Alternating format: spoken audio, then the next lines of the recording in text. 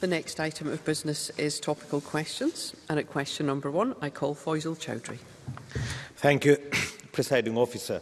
Uh, to ask the Scottish Government, after Scotland experienced its coldest night of the year with temperature as low as minus 15 degrees centigrade, what action it is taking to ensure that homeless individuals have access to safe, warm housing during this winter period? Cabinet Secretary Shona Robertson. Scotland has some of the strongest homelessness legislation in the world and local authorities have a legal duty to provide accommodation to anyone at risk of homelessness. It's particularly important that people can access accommodation immediately during cold weather, which is why we have provided over £907,000 of funding since 2020 to support the operation of rapid rehousing welcome centres in Glasgow and Edinburgh through the winter. These centres provide people at risk of rough sleeping with 24-7 immediate access to accommodation alongside wraparound support to move on to settled accommodation. Faisal Chowdhury. I thank the Cabinet Secretary for the answer. Uh, the National Record of Scotland recently released statistics showing that 250 homeless individuals died in Scotland last year. Ahead of the Scottish budget on Thursday, what assessment has the Scottish Government made of the impact of ongoing cuts to council budget on council's ability to provide services which aim to alleviate these tragedies? Cabinet Secretary.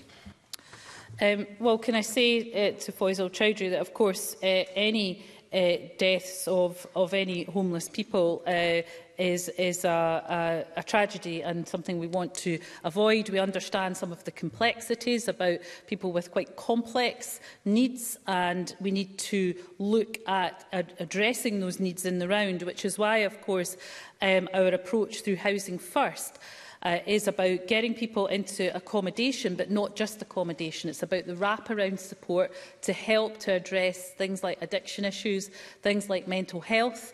Uh, and of course, we're providing funding uh, through local authorities in order to do that. And that's something we are going to continue to provide because we recognise the importance of doing so. Faisal Chowdhury. I thank the Cabinet Secretary for that response. Uh, the Scottish Government's uh, response to the COVID-19 pandemic included accom accommodating people slipping rough using hotels or other single-room accommodations. Will the Scottish Government include similar provision for weather crises such as cold spells in its ending homelessness uh, together action plan and prioritise a transition after such a crisis to settled accommodation? Cabinet Secretary. Well, um, Nobody should have to sleep rough in Scotland and we don't want anyone to, to sleep rough and that's why we're working with uh, local authorities including the City of Edinburgh Council to identify uh, you know, further solutions building on and expanding the rapid rehousing welcome centre provision in the short term because we recognise winter uh, is really challenging and we're uh, confident uh, that by doing so we can protect those at risk of rough, rough sleeping in the city and support them into more settled accommodation. So although levels of rough sleeping remain low, uh, we don't want anyone to be rough sleeping and we want to make sure the capacity is there to make sure that everyone uh, can have a, a, a bed for the night um, not to be sleeping rough. Emma Harper. Thank you, President Officer. Can the Cabinet Secretary outline how recently introduced legislation which removes the local connection test will help ensure that people can find a settled home and access to support as quickly as possible in an area that they choose? Cabinet Secretary.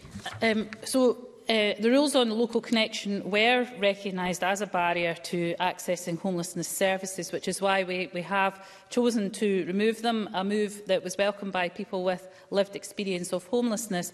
Most people who are homeless want to live in a community where they are already settled, but this legislation allows people experiencing homelessness to move somewhere new if they want to. And this puts the rights of for homeless households on a par with those uh, for people who own or rent their homes, ensuring they have access to consistent services wherever they are in Scotland. Jeremy Balfour. Uh, thank you, Virginia. Virginia, it's not just uh, homeless people who are called, but it's people in housing as well. It was discussed at the Social Justice and Social Security Committee last week that the winter heating assistance payment will not be made until February next year, meaning that many families will be left without support to struggle through the worst of the winter. How does the Cabinet Secretary expect those families to pay for heating during December and January? And does she consider the delay to be showing dignity, fairness and respect to those that need our help? Cabinet Secretary. Well, of course, uh, what Jeremy Balfour didn't say was that the winter heating assistance payment will reach more people and it will reach more people on a regular basis rather than having to be triggered by uh, the weather, uh, which of course uh, it doesn't always happen, and then when it does happen, it doesn't happen consistently everywhere. So this is to provide uh, a payment to more people that they can uh, expect to, to get uh, rather than being triggered by uh, cold weather specifically. Now, in addition to that, Jeremy Balfour will be aware that's not the only support we're providing uh, to people. Uh, the Fuel Insecurity Fund has been doubled to £20 million, and I would urge anyone who is struggling with their heating bills, uh, who may be eligible to get that uh, access to that fuel insecurity fund uh, to do so. And of course, they can find out more information about that on the cost of living website on the Scottish Government website pages. Thank you. Question number two, Jamie Green. Thank you, Presiding Officer. To ask the Scottish Government what its response is to reports that a suspect involved in the 1988 Lockerbie bombing has been detained in custody by US authorities. Lord Advocate. The bombing of Pan Am 103 remains the deadliest terrorist attack in the UK and 270 people tragically lost their lives. I'd like to begin by expressing my sincere condolences to all those who have suffered so much as a result of this dreadful act. Scottish prosecutors and Police Scotland welcome the significant steps taken by the US justice authorities. This was and remains a shared endeavour seeking to bring all of those involved in this act of state-sponsored terrorism to justice. This suspect is an individual who featured on the original Scottish indictment and investigations into his involvement have continued over the years. Scottish prosecutors and law enforcement stand ready to afford all possible cooperation to our US partners in accordance with the rule of law and will continue to pursue the investigation into the involvement of all of those who are part of this terrorist attack. Jamie Green. Uh, can I thank the Lord Advocate for that response and welcome her to her place. As we approach the 34th anniversary of the Lockerbie air disaster in just over a week's time, all of our thoughts are with the victims and their families. Uh, despite three decades passing, they have all shown tremendous courage, hope and conviction that justice will finally fully be served, which is why this development is of such profound importance to them. I understand that the Lord Advocate may be travelling to the United States next week to meet with uh, US authorities, but also attend uh, remembrance events of the anniversary of the tragedy.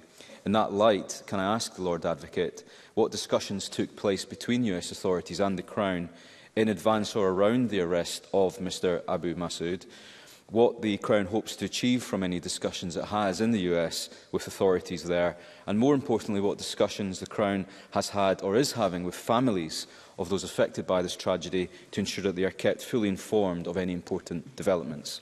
Lord Advocate. Uh, I've met the US Deputy Attorney General on three occasions this year and Scottish prosecutors and police officers have worked on the investigation with the US colleagues since the conclusion of the trial against McGrachy and FEMA in 2001. For more than 20 years, the Crown Office and Procurator Fiscal Service has maintained a case team working on this investigation which brought together a range of prosecutorial expertise in counter-terrorism, major crime investigations, forensic analysis, international cooperation and mutual legal assistance. I would like to thank them today for their unfailing dedication to bringing suspects in this case to justice. In meeting again with the US Deputy Attorney General next week, I shall begin to discuss further how we can assist the US in the work that they're now doing in relation to this particular suspect. The families involved in this, this terrible uh, case have been kept up to date all along the way by the uh, Crown Office and Procurator Fiscal Service and by the US Justice Authorities.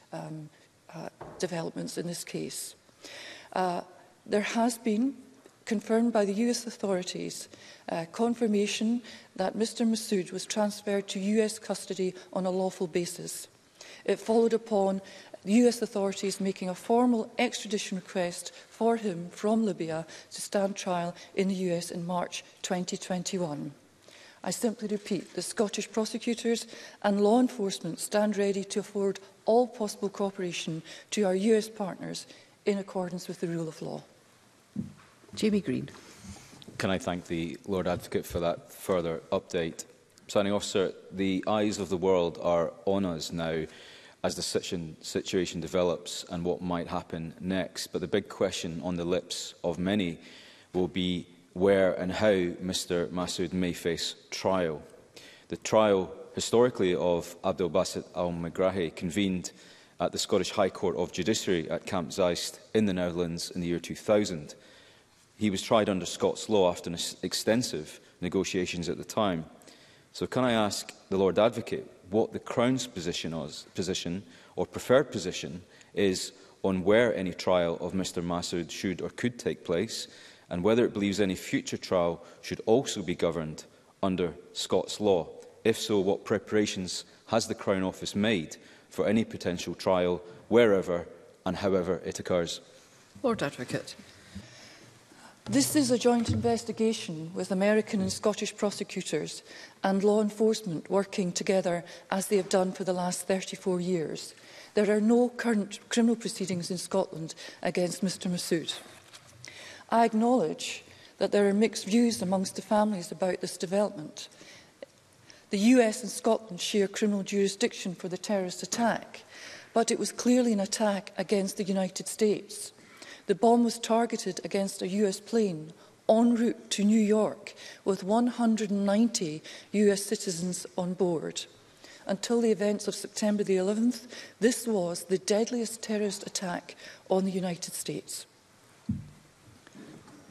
Colin Smith. Uh, thank you, President Officer. The run-up to the 21st of December is already an incredibly difficult time for families who lost loved ones in the bombing of Pan Am 103, but also the community of Lockerbie itself. You know, everyone wants to see justice and there, there are many unanswered questions, but there will be some trepidation at the timing of this development and what this will mean for the focus on a community trying to go about its business at what is already a very difficult time of year. So could I ask that in any discussions the Lord Advocate has with American authorities that they are urged to be absolutely conscious at all times about the impact developments have on the community uh, in, Locker, in Lockerbie? And does the Lord Advocate agree with me that at this time of year, more than ever, our thoughts aren't about those who perpetrated this appalling crime, but are with those who lost loved ones, but also the communities in Lockerbie and around the world who have given so much support to everyone affected by the bombing over 34 years ago? Lord Advocate. I completely agree with that. And what I think should be borne in mind is that it was in March of 2021 that the US authorities made a formal extradition request for the suspect from Libya to stand trial in the US.